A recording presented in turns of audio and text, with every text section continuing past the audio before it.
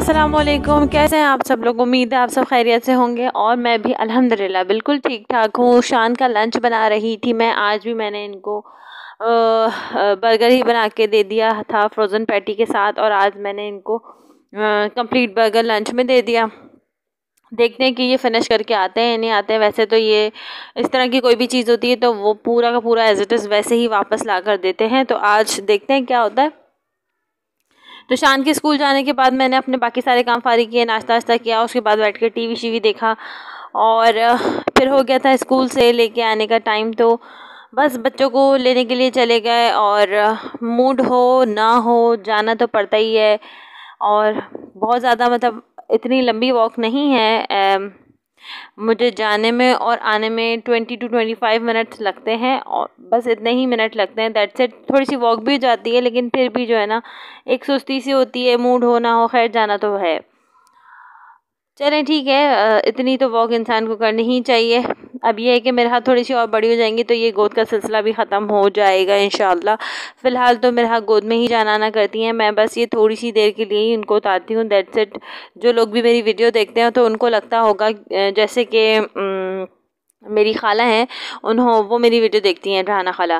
तो वो मेरे व्लॉग्स देखती हैं तो उन वो मुझे कहने लगी कि अरे भाई तुम कैसे उतार देती हो बच्ची को इतने ख़तरनाक ये वो? अम्मी मेरी कहने लगी कि भाई तुम ऐसे बच्चों का हाथ कैसे छोड़ देती हो? आ, आ, रास्ते में ना तुम शान को पकड़ती हो ना तुम मेरा को पकड़ती हो। तो मैंने उन्हें बताया कि अम्मी ऐसी कोई बात नहीं है। शान मेरे बराबर में मेरे साथ साथ चलता है। जैसे ही रोड आता है मैं उसका हाथ पकड़ती हूँ। मेरा मेरी मुसलसल गोद में होती है।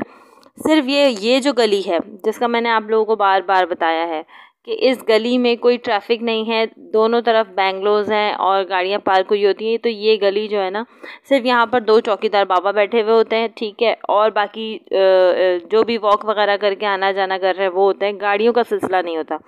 तो यहाँ पर मैं कुछ देर के लिए मेरा को गोद से उतारती हूँ, वैसे मैं इतनी केयरलेस नहीं हूँ कि मैं बच्चों को छोड़ दूँ और बस वीडियो बनाने में लगी पड़ी रहूँ। खैर बच्चों को स्कूल से लेकर आए तो उसके बाद फिर मैंने कहा कि भाई आप लोग जो है ना लेट जाओ।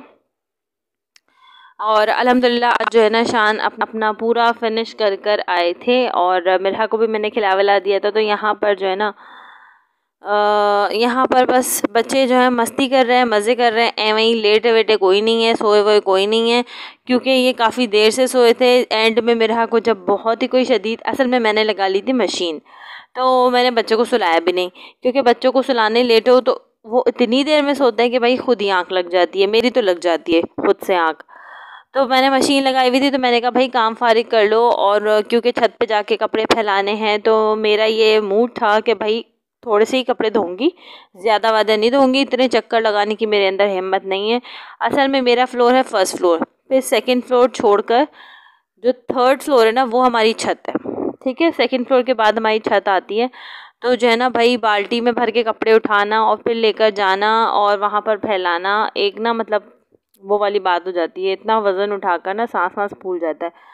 तो खैर, मैंने क्या किया कि मैं बच्चों के कपड़े धोए थे, वो फैला कर आ गई। फिर मेरा मूड था कि मैं बंद कर दूँ तो मैंने देखा कि सुमैर की टी शर्ट्स वगैरह इतने ज़्यादा नहीं हैं और एक चक्कर और हो जाएगा। तो मैंने सुमेर के टी शर्ट्स भी धो दिए, बाकी के मेरे कपड़े और एक बेडशीट है, वो फिर मैं इंशाल्लाह कल धोऊँगी तो वापस आने के बाद मैंने शान का होमवर्क करवा दिया, जितनी देर में दूसरे कपड़े निकलेंगे, दूसरा राउंड होगा। बस शान को दो ही पेज मिले थे होमवर्क बाकी ज़्यादातर इनको ओरल मिल रहा है, क्योंकि इनके फ़र्स्ट टर्म का फ़र्स्ट यूनिट असाइनमेंट हो चुका है। अब इनके फ़र्स्ट टर्म का सेकेंड यूनिट असाइनमेंट होगा इन तो इनका जो है वो क्योंकि होने वाले हैं सेकेंड यूनिट का असाइनमेंट तो इनके ओरल वगैरह चल रहे हैं, ज़्यादातर रिविज़न चल रहे हैं तो बस वो मैंने जल्दी से करा के फ़ारिग कर दिया था। उसके बाद जो है मैंने अपने कपड़े वपड़े खंगाले, जब तक मैंने कार्टून लगा दिया था बच्चों को ताकि वो बहल जाएँ। छत पे मैं नहीं लेके गई थी, क्योंकि अगर मैं शान को लेके जाऊँगी तो साथ में मेरहा ने लाजमी जाना है।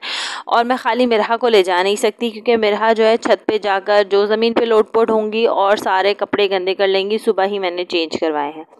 तो ये चीज़ मैंने करनी नहीं थी तो मैंने जो है वो दोनों तरफ़ के दरवाजे जो है लॉक नहीं किए थे जस्ट ऐसे ही बंद कर दिए थे। और शान को कहा था कि मेरे के साथ बैठो कार्टून देखो, मैं, मम्मा बस दस मिनट में आ रही है, फिर मैं छत पे जाके कपड़े फैला के फटाफट से वापस आ गई थी।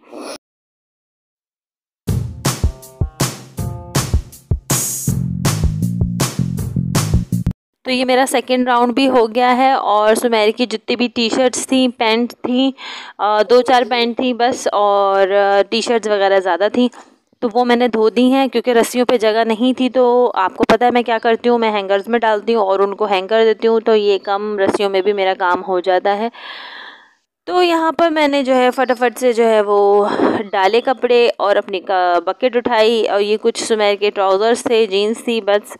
बकेट उठाएँगे और आ जाएँगे। कुछ देर मैंने देखा। अच्छा मैंने आपको दिखाया था ना, मेरी अम्मी के घर पर कितने परिंदे घूम रहे थे। आसमान पे माशाल्लाह माशाल्लाह वहाँ घूमते हैं। लेकिन ये देखें, पूरा आसमान खाली पड़ा हुआ है। ये कुछ पीजन्स हैं और क्योंकि हमारे छत के ना आसपास एक दो छत छोड़कर छत पर जो है पूरा दड़बा टाइप बनाया हुआ है। वहाँ पर बहुत सारे कबूतर पाले हुए हैं। तो ये उन्हीं के कबूतर हैं जो ये बैठे हुए थे। बाकी ये देखें, एक दो एक दो उड़े थे। उसके बाद जो है मेरा को बहुत ज़्यादा नींद आ गई थी तो उनको जाके मैंने सुलाया था और मेरी ख़ुद की भी आँख लग गई थी। उसके बाद जब मैं उठी तो मुझे बहुत ही कोई शदीद भूख लग रही थी और दिल चाहता कि कुछ अलग खाऊं। तो मैंने क्या किया कि मैंने कहा, खाना तो बनाना है, लेकिन ये कि पहले हम आलू काट लेते हैं। आलू आलू काट के मैंने उनको धो के छन्ने में रखा, जब तक ऑयल गर्म किया। उसके बाद मैंने पूरा का पूरा वन के जी ऑयल एक साथ ही कढ़ाई में डालकर और सारे के सारे आलू एक साथ ही मैंने कढ़ाई में डाल दिए। और पहले मैंने आधे डाल लेते लेकिन मैंने देखा कि स्पेस ज़्यादा है सारे आलू एक साथ डाल सकते हैं तो मैंने एक ही राउंड में सारे आलू डाले और उसके बाद मैंने उसको ढक्कन लगाया और थोड़ी थोड़ी देर से मैंने ढक्कन खोल के उसको चलाती रही।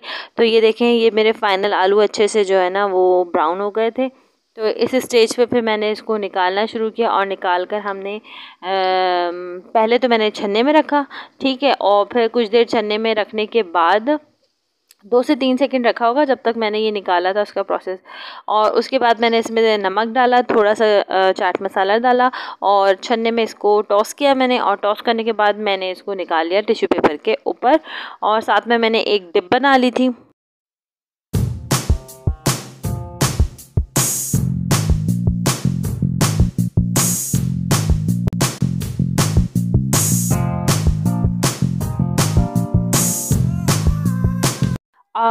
आमतौर पे मैं घर में यही डिप बनाती हूँ। मैंने थोड़ी सी ली थी केचप और साथ में लिया था म्योनीज़ और उनको मैंने मिक्स कर दिया था और ये हमारी बन गई थी डिप। तो बस अब मैं जाके शान को उठाऊँगी फटाफट से और मेरा के लिए मैंने एक छोटे बाउल में निकाल दिए थे। बाकी शान और मैंने बैठ के फिनिश कर लिए थे। मैं ग्राइंडर चला रही थी तो मैं ग्राइंडर की आवाज़ सुन के मेरा बहुत खुश हो रही थी।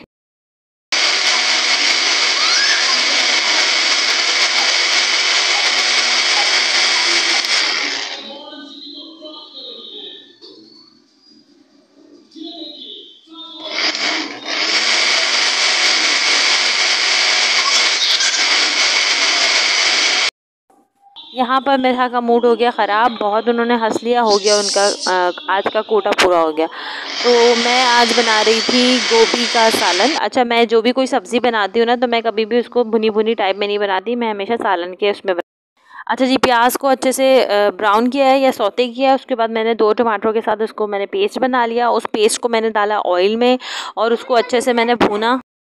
मसाले को भूनने के बाद मैंने इसमें मिर्ची, हल्दी, धनिया और नमक डाल के और इसके साथ मैंने भुना। अभी मैंने पानी वानी कोई ऐड नहीं किया है, ठीक है? अगर थोड़ा सा आप डालना चाहें, ज़रा सा तो आप डाल सकते हैं ताकि मसाला लगे नहीं, ठीक है? उसके बाद जब हमारा मसाला अच्छे से भुन गया, उसका ऑयल अलग हो गया तो उस मसाले में मैंने जो कटा हुआ फूल गोभी था और हरी मिर्चें स्लाइस करके मैंने रखे थे, वो मैंने डाल दिए और इस मसाले के साथ अच्छे से मैंने उसको भी भून लिया। ठीक है? तो कम से कम चार से पाँच मिनट आप मसाले के साथ जो है ना, इन सब्ज़ियों को भून लीजिएगा।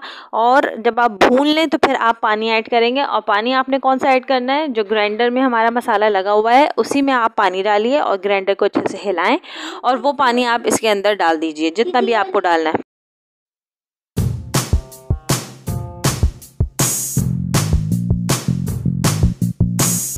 मसाला भुनने के बाद आप उसमें पानी डालें। मैंने थोड़ा सा और पानी ऐड किया था, ये वाले पानी के बाद भी। और फिर मैंने इसको अच्छे से जोश दिया और जोश देने के बाद मैंने ढक्कन ढक के इसको गलने के लिए छोड़ दिया था। और उसके बाद बीच बीच में मैंने चेक भी किया था कई मरतबा, ठीक है? और जब मेरा अच्छे से मसाला भुन गया, ग्रेवी मेरी गाढ़ी हो गई थी, जितनी मुझे रखनी थी उतनी हो गई थी। और फूल गोभी जो है वो गल गए थे तो फिर मैंने इसको फ्लेम ऑफ़ कर दिया था और फाइनल लुक फिर मैं इंशाल्लाह आपको दिखाऊँगी। तो पहले हम बॉईल कर लेते हैं। तो ये देखें बॉईल आ चुका है अच्छे से। अब हम इसको मीडियम फ्लेम करेंगे और ढककर इसको गलने के लिए छोड़ देंगे और अब हमें कुछ भी नहीं करना है। तो ये देखें, तकरीबन दस से पंद्रह मिनट हो गए थे, मसाला मेरा अच्छे से भुन गया था और बंद गोभी जो है मेरे सॉरी, फूल गोभी मेरे अच्छे से जो है वो गल गए थे।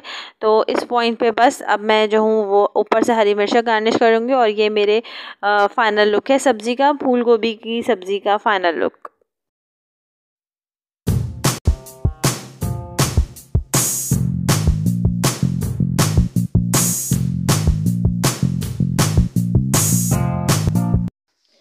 यहाँ पर जो है ना मेरा बाबा को आवाज़ लगा रही थी। बाबा आए थे ऑफ़िस से और मुसलसल मेरा बाबा को आवाज़ें लगा रही थी। बाबा बाबा बाबा। लेकिन जहाँ मैंने क्लिप ली तो वहाँ जो है वो वो खामोश हो गई। या तो वो रिकॉर्ड ही नहीं हुआ। तो ये बड़ा मसला है मेरे साथ। अजीब ही कोई सीन हो गया मेरे साथ। चलें जी जल्दी से खाना वाना खाते हैं और किचन समेटते हैं और फिर लेटने जाएँगे।